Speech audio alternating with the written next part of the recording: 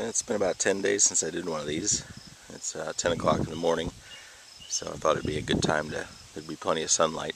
It's a little breezy, I hope it doesn't cause too much noise on the audio here. But things have been growing quite a bit. I've watered the garden a lot, and then we got that three quarters inch of rain over a couple different days, about a week or so ago. So things have grown a lot and they're coming along. I'm actually about to start picking a few things.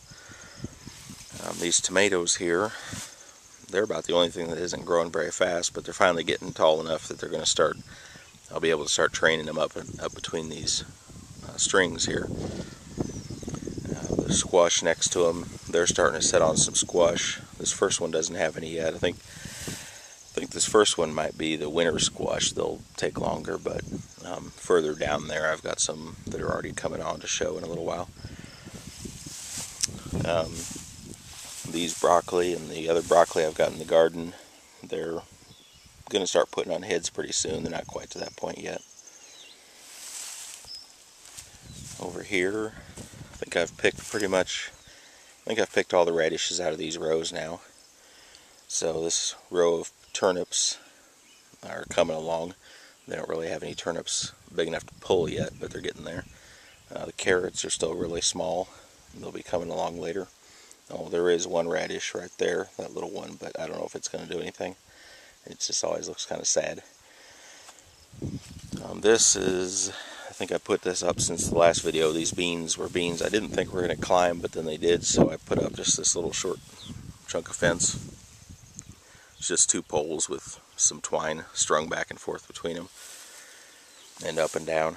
It gives them something to climb on. So I'm not sure what what they are since they're not what I thought they were and they're not setting on any beans yet, but we'll see later on what they turn out to be.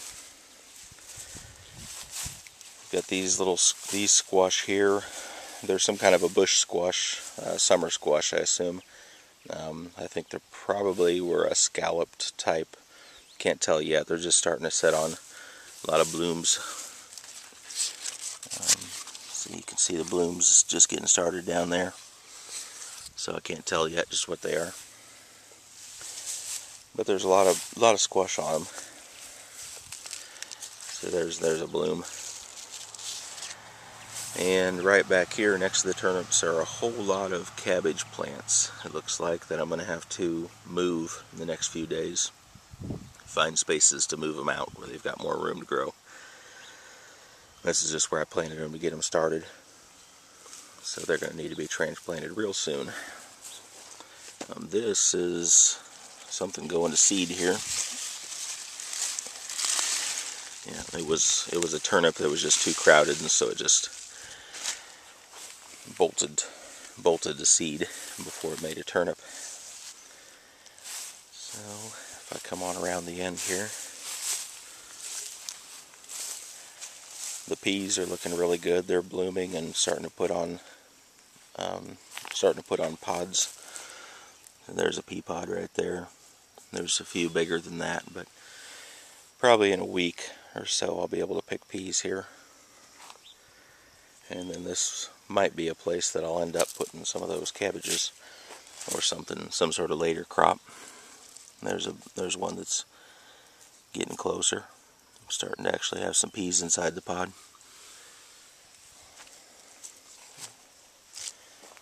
Should have quite a few of those these beans here, oh, there's a big one I didn't see before. These beans have been blooming for a while, so they've started to, there's, there's a decent sized one on there. I'm not sure what kind these are. I just planted a few different kinds here. So I don't know if they're a bean that I'll be eating out of the pod or if there's something that has to be shelled out later, like a kidney bean, a dry bean for chili. I'll be able to tell once they get a little bigger. The ones behind them, I'm pretty sure.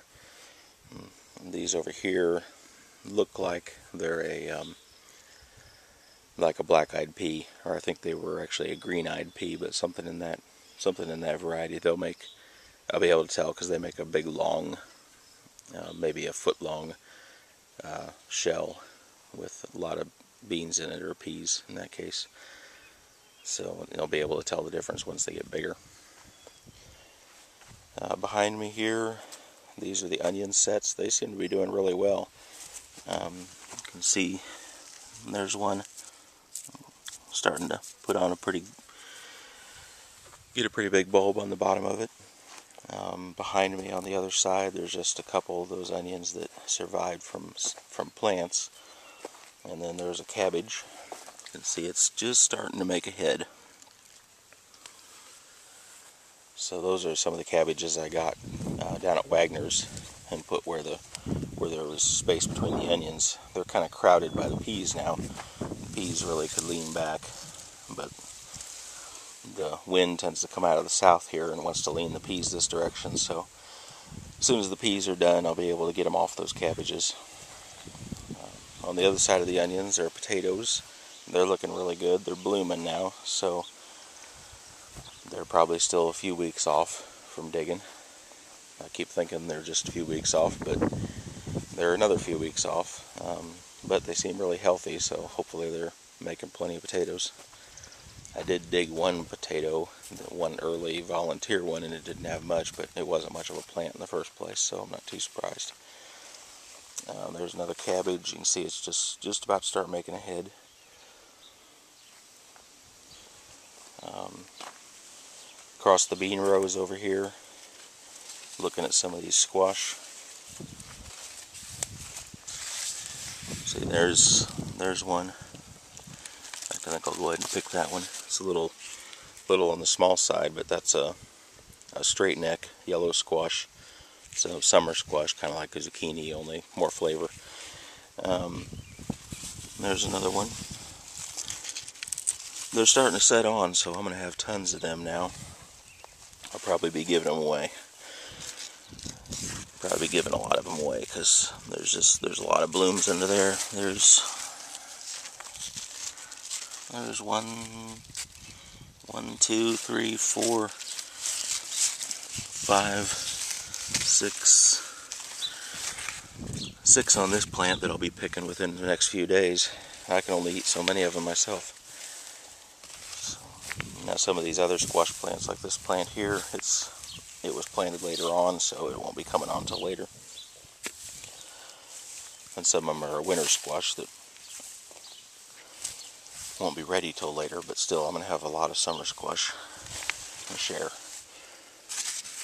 there's that one's got summer squash too.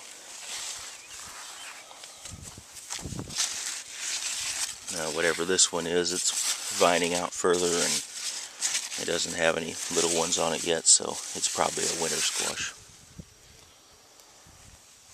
Step back over the beans here. These are some more broccoli. These are ones from Wagner's that I transplanted in where, where beans didn't come up.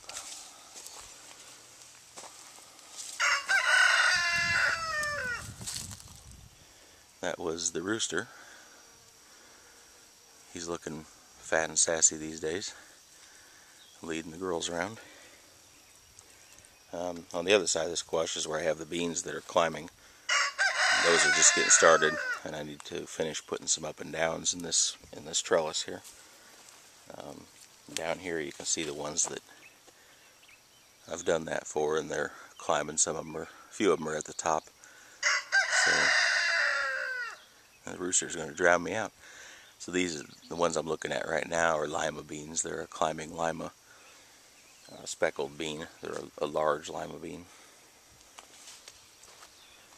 And if I come back down to where I was by the potatoes again,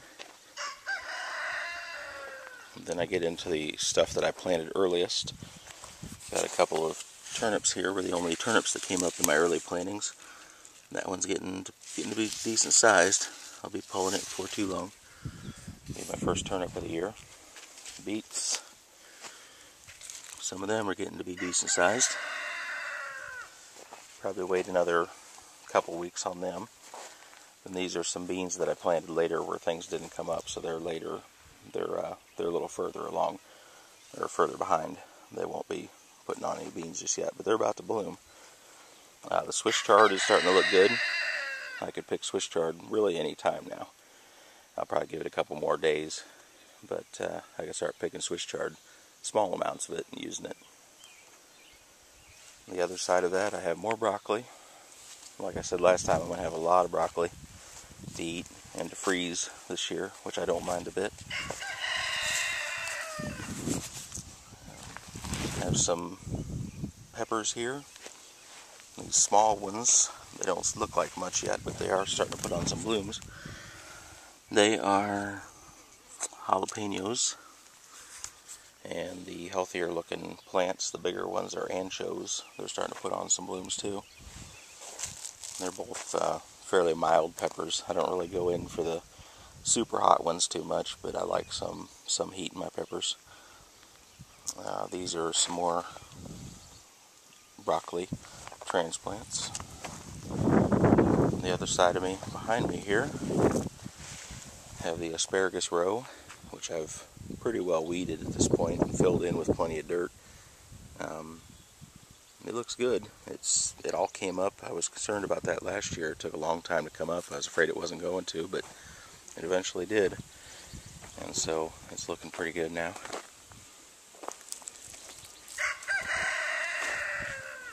On the other side of that, I have strawberries, which look kind of sad at this point, but they're starting to run around. They're starting to run around and start some new plants, which I'll be able to transplant into the row, make the row a little longer. And across from them, I have some squash, or no, this is melon.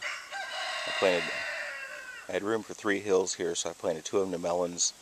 The one in the middle was a squash that didn't come up, so I'll probably come back if I've got some more melon seed and just go ahead and stick a melon in there too. But these were, I think, two different kinds of melon. One's a cantaloupe and one might have been a watermelon, or might have been another cantaloupe, I'm not sure.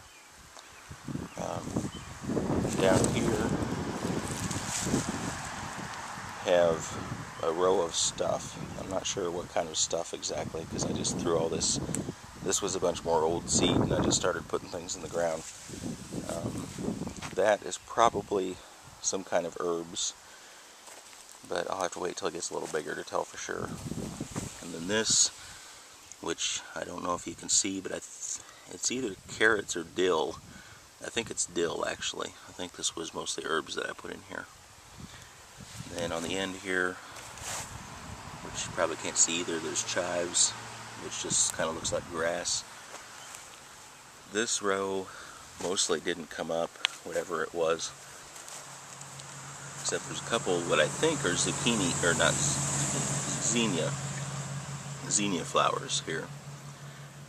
I think that's what those are. The next row is radishes. And I don't recall if there was anything else with the radishes or just radishes. But that's all I'm seeing so far is radishes. So actually weeded this row just a couple days ago. Then there's a row that didn't come up. I think it was beans. They didn't come up. Or a mole ate them all because I could tell a mole had gone down the row. So I'll put something else here. Maybe some of those cabbage transplants. So I have to have room for them. And there's, right at the end of the row, I think, is turnips. I think these are turnips right here. Um, my sage and oregano are looking kind of rough. Yeah, there's a bee on them. So they're doing some good anyway. And the last thing up here is the sweet potatoes. Not really sure if they're doing well or not because they're underground, but uh, I think they're doing okay. Chickens come up here and scratch holes once in a while, but so far they haven't scratched up sweet potatoes, so that's good. I need to fill in these holes though. Probably need to put some straw around them too and maybe a little bit of fence or something to keep the chickens from doing that.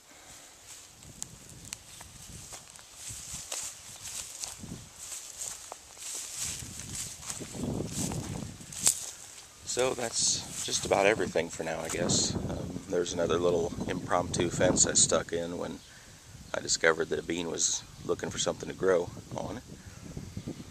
Um, some of my squash plants are going to vine far enough that I'm going to need to run them over to the fence and train them up at 2 because they're going to run out of space where they are. So things are looking pretty good. Still can use a rain. Otherwise I'm going to be watering it here again in a couple days. if it doesn't rain. But things are looking good. I've been able to still stay ahead of the weeds, which kind of amazes me, but been uh, keeping the weeds down pretty well, keeping things trained up the fences so far, and, now I just need to wait just a little longer and I'll be able to start picking stuff. So I'm picking squash now. I could be picking Swiss chard today, and in another week there'll be peas. There could be beans. They might be a little further off. Um, there could be turnips, beets. So things are coming along pretty well. I'm real happy with it this year. Probably the best garden I've ever had.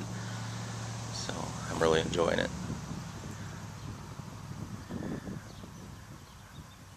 So I think that's it for this week, and I'll try to do another one of these soon.